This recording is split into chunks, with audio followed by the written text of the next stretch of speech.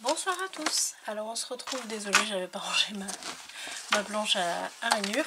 Euh, on se retrouve pour la suite de la série tuto de l'album Très tôt sur le thème plus ou moins Harry Potter, comme d'habitude. Euh, donc je vous montre un petit peu ce qu'il en est pour la page, ça c'est la page numéro 3 côté A. je vous montre un peu la déco, donc voilà ce que ça donne avec le fermoir euh, à ruban. Donc voilà, là en fait on l'enlève que d'un côté, ici il est maintenu avec un nœud coulant. Et puis donc on a le premier rabat, donc avec deux emplacements photo. J'ai mis une bande ici parce qu'il manquait euh, vraiment quelques millimètres entre les deux.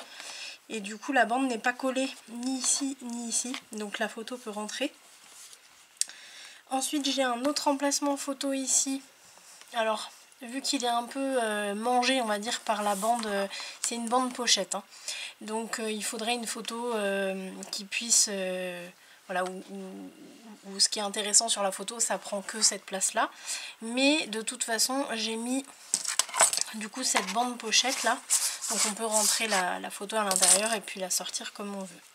Ça c'est le premier rabat. Ensuite donc le fameux fermoir euh, dessus-dessous de Dominique. Donc ici on a juste à soulever le premier. Les aimants sont vraiment très très aimantés. c'est vraiment, euh, ils sont vraiment super solides. Je regarde juste ici. Ah oui, d'accord, c'est bon. Donc on tire le premier. Ici on a le... Alors on avait le petit rabat, on a le moyen rabat. Donc avec deux emplacements photo. Ici derrière le chat, c'est ouvert. Et puis ici, alors je suis obligée d'ouvrir celui-là, mais bon c'est pas très très gênant, on peut à la limite le refermer après. On a la cascade incrustée ici. voilà, donc on peut en mettre une grande ici si on veut. Euh, donc ça fait une, deux, 3, 4, 5, 6, 7, 8, 9 si on veut. Sachant, je dis bien si on veut, sachant que celui-là, en fait, il se voit quand on ferme. Donc, euh, c'est comme on veut. Donc, je compte 9, 10, 11. ici, on a dit qu'il y en a 3, euh, voire même 4. Donc, on va compter 4. Euh, donc, ça fait 15. Et donc, on a le dernier, donc avec le fameux pop-up de, de Tanu Créative. Donc là on était à 15, ça nous fait 16 ici, 17 ici, 18, 19, 20, 21. Donc sur une page là on a 21 emplacements photos. Donc c'est quand même pas mal. Et puis du coup voilà ce fameux fermoir dessus dessous, ben, on ferme le premier. En fait on a juste à le pousser légèrement. Hop. Et puis le dernier, on va se mettre le petit ruban. Voilà. Donc c'est quand même pas mal cette page là. Alors ça fait beaucoup de travail de matage. Mais euh, voilà, pour ceux qui préfèrent la déco, bah, c'est idéal. Voilà, moi j'aime bien les deux, donc euh, voilà.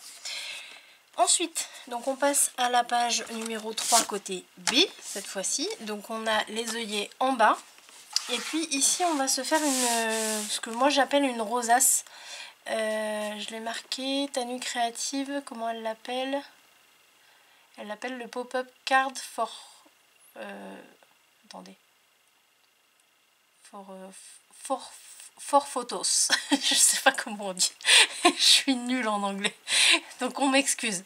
En gros, c'est le pop-up carte pour 3 pour 4 photos. Ouais, voilà. Bon, moi je l'appelle la rosace. Donc euh, je vais vous montrer comment on fait. Dans un premier temps, on va se poser le rabat.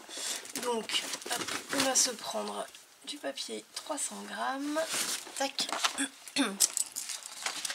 Alors ici, euh, sachant que nous, notre mécanisme, il va faire 21 par 21.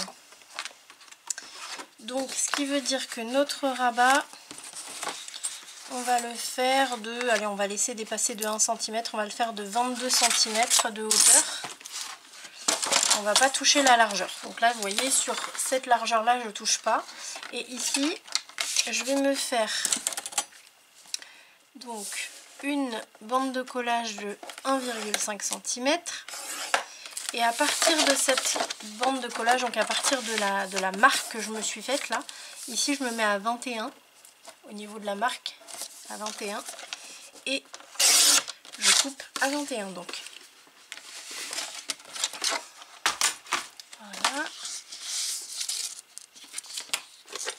Mon nouveau plioir. J'ai nouveau deux nouveaux plioirs même. j'ai commandé sur internet. Celui-là, je ne l'ai pas essayé encore parce qu'il est très très gros, ça va être pour des grandes surfaces plutôt. Mais euh, celui-là, par contre, il est très très bien. Donc je sais pas, parce que j'aime bien celui-là, mais euh, c'est vrai que celui-là, il est pas mal non plus. Bon, on verra avec le temps. Alors, hop, je biseaute. J'arrondis mes coins.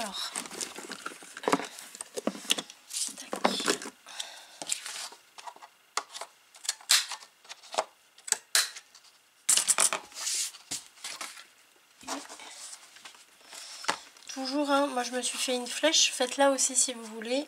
On a toujours les œillets en bas de ce côté-là. Et donc là, on va se poser le rabat en haut et il va s'ouvrir comme ça. Donc on met la colle sur l'extérieur de la bande de collage.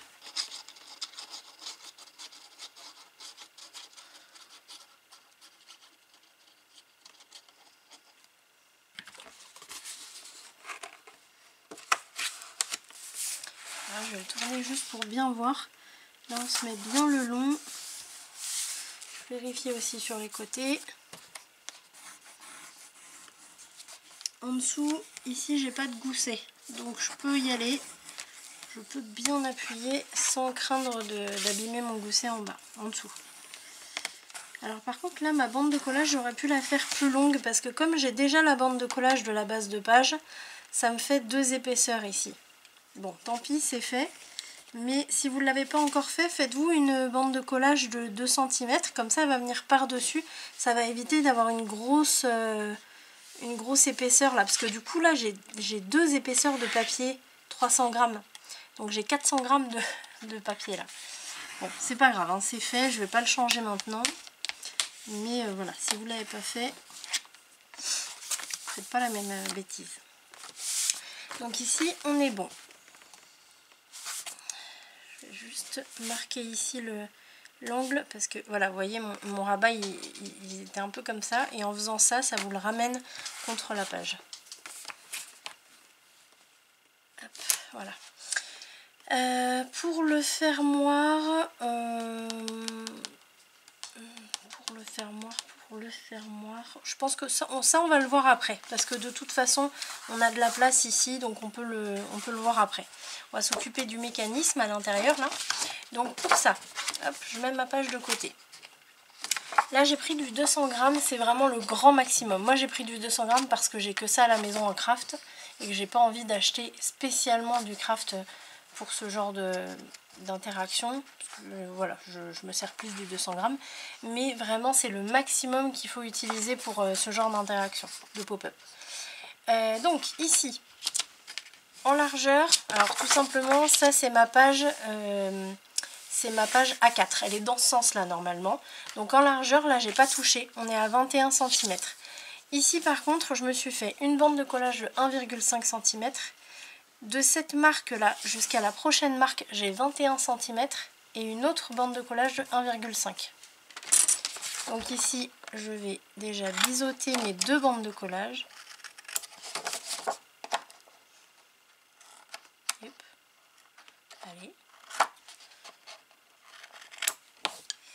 Ensuite, je vais prendre ma planche.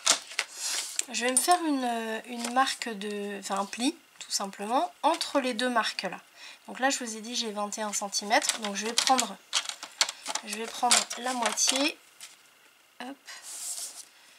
Donc 10 et. Et je me fais, vous voyez, dans le même sens que mes deux bandes de collage. Ne le mettez pas dans ce sens-là avec une bande de collage en haut et une bande de collage en bas. C'est vraiment avec les bandes de collage à droite et à gauche pour être dans le bon sens. Et vous faites une marque de pliure à 10 et demi. Ensuite, je vais me servir de la marque sur ma planche de traçage. Donc moi là elle est au milieu tout simplement parce que c'est pas vraiment une marque, c'est tout simplement, je vais vous montrer.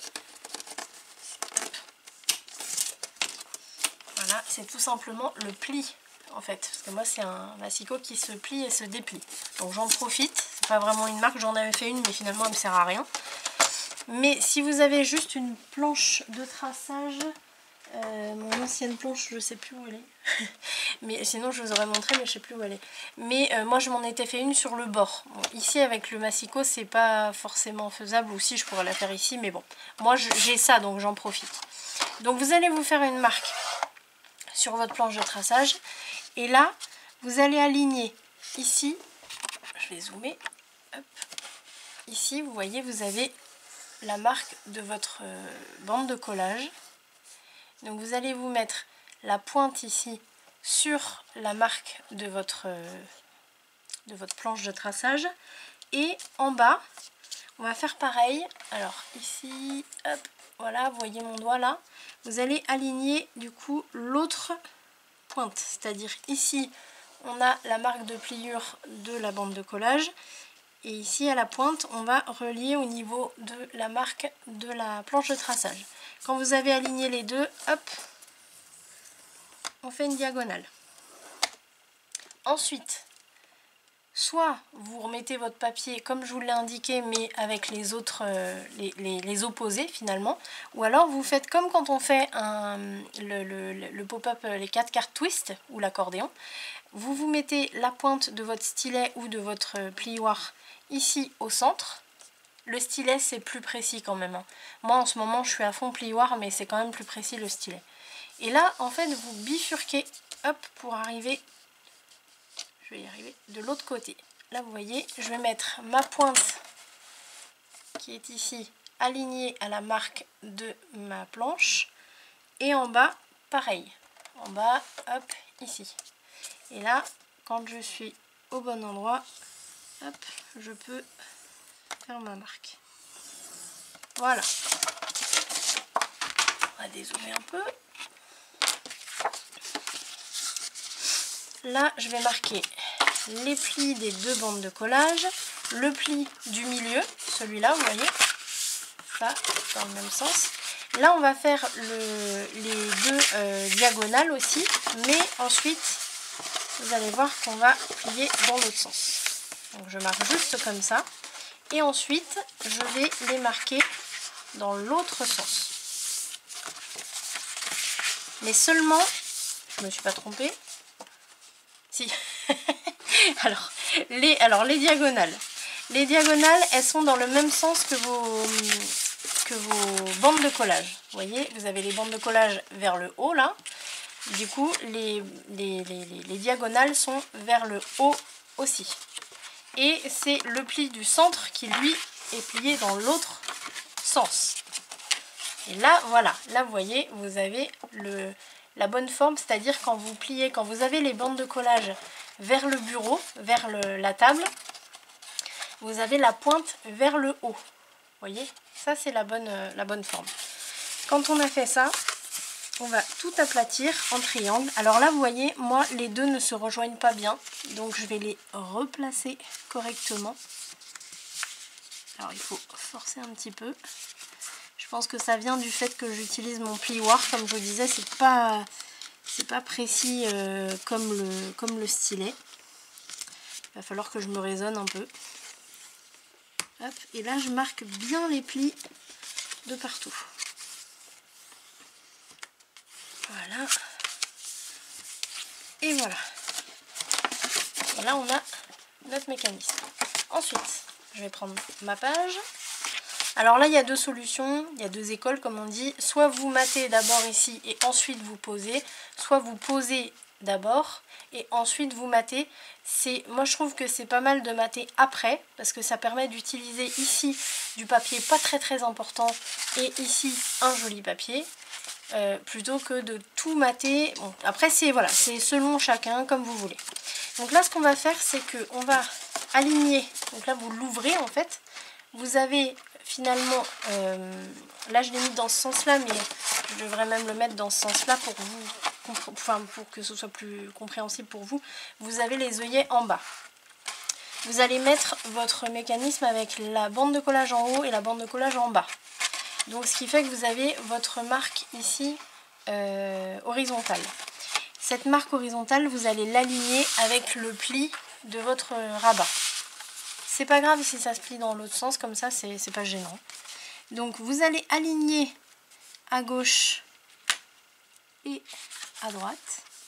Alors comme le mécanisme fait exactement la largeur de la page, il faut bien vérifier. Et quand on a fait ça, là je vais mettre ma colle. Vous voyez ma bande de collage, elle est, elle est euh, à plat, elle n'est pas passée par en dessous encore. Hein. Et là je vais mettre la colle sur le dessus de ma bande de collage. Donc à l'extérieur de la bande de collage. Je vais lisser légèrement. Et là, j'ai plus qu'à passer ma bande de collage par en dessous. Si elle veut bien. Voilà. voyez Là, je passe le plioir.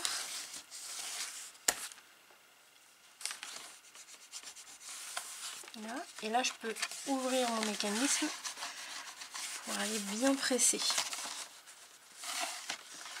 Voilà.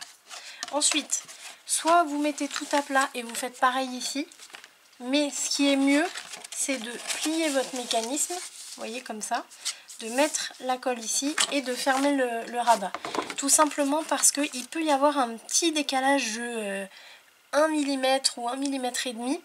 Euh, si vous le mettez complètement à plat comme ça, quand vous allez fermer, ça risque de bloquer un petit peu. Alors que si je le mets comme ça, que je colle, clac, que j'ouvre et que mon mécanisme, au lieu d'être complètement à plat, ce qui est finalement pas très très intéressant, il est plutôt un peu levé comme ça, ben ça c'est pas gênant, même ça donne un, certain style. Donc il vaut mieux pour moi, à mon sens, faire comme ça. Donc on met la colle.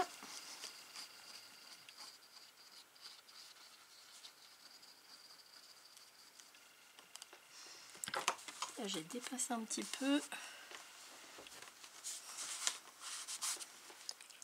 Et ici, alors là je fais attention à être bien aligné. Et je ferme mon rabat.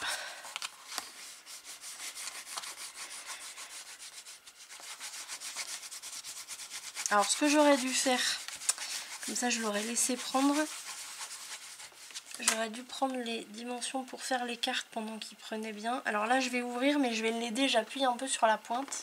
Voilà, je l'aide, c'est bon. Et là, ce que je vais faire, mesurer ce que j'ai entre le bord ici et la pointe. En enlevant 1 mm au niveau de la pointe. Au bord, pas forcément. Donc ici, j'ai 10, allez, on va dire 3. 10,3 et je vais prendre la hauteur aussi alors je fais attention parce que comme je viens de le coller je veux pas le perturber alors ici, je vais dégager le pli. Ici, donc j'enlève 1 mm. J'ai mon ciré qui se met en route. Alors, hop, et en bas, pareil, 1 mm. Donc, ce qui me donne 10, ouais, 10, 10. 10. Ce que je vais faire, je vais faire des carrés de 10 par 10. Voilà. On va faire ça. Alors, hop, je la laisse de côté. Et je vais voir avec ça si j'ai assez... Ouais, ici c'est bon. Ah, ça faisait longtemps que vous ne l'aviez pas entendu. C'est Naya, pour ceux qui la connaissent pas. Alors elle n'est pas torturée, je vous rassure. C'est juste qu'elle est sourde, enfin on pense que c'est ça. Elle est sourde, ça c'est sûr qu'elle est sourde. Et du coup on pense qu'elle euh, doit s'entendre un petit peu quand elle fait comme ça. Donc euh, voilà, elle, euh, elle a ses petits moments comme ça. Elle va dans la chambre d'amis pour le faire, pour pas nous déranger. Donc voilà, mais elle est, adorable. Elle a 21 ans hein, quand même. Hein. Et elle est en forme encore. Allez, petit aparté. Donc, on a dit 10 par 10. Je vais tailler le 10 déjà ici. Problème c'est que je peux même pas l'appeler, lui dire de venir me voir ou quoi parce qu'elle m'entend pas. Donc euh, il faudrait que j'aille la chercher mais elle aime pas qu'on la prenne dans les bras. Elle a son caractère quoi. Alors là j'ai un morceau qui fait pile 10, donc ça c'est très bien. Ici, je taille à 20 et à 10. Là je vais vérifier tous mes morceaux pour être sûr d'avoir les 4 exactement les quatre mêmes. Et pour une fois, ça me paraît bien. Ouais, ouais, ouais, impeccable. Bon, super. Alors, on va reprendre la page.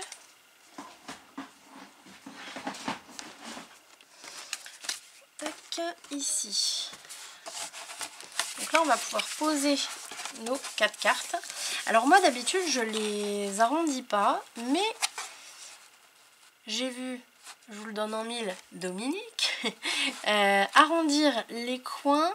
Alors, euh, je sais plus si elle fait ici, mais moi, je vais le faire juste euh, là. Quoique, je sais pas. Ouais, non, je vais le faire juste ici. Ouais. Alors, je vous explique. Déjà, on va regarder. Alors, c'est tous la même taille, donc j'en prends un. On va regarder si tout se passe bien quand on les pose au niveau de la dimension.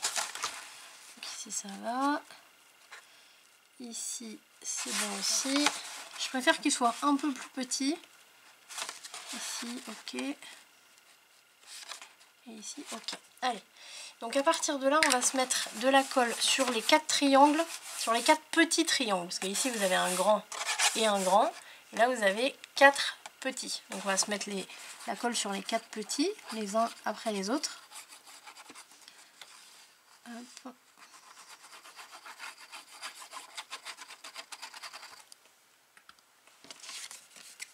Et là, on va pouvoir poser, alors vous voyez, je le mets même un peu à plat, c'est pas bien grave. On va pouvoir poser je ne l'ai pas arrondi. Je vais l'arrondir, mais avec celui-là. Euh, ouais, je vais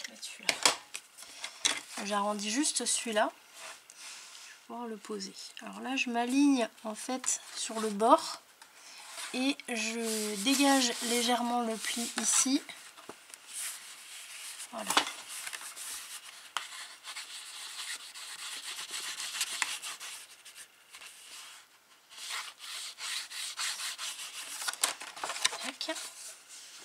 Donc là, bien sûr,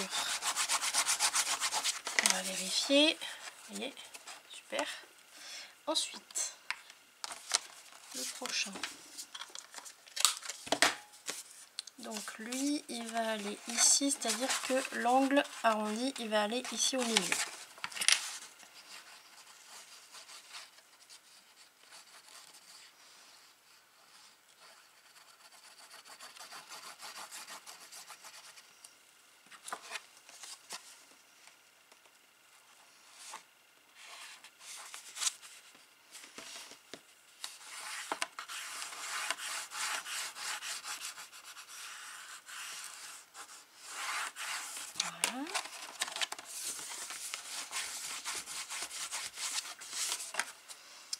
Et ainsi de suite.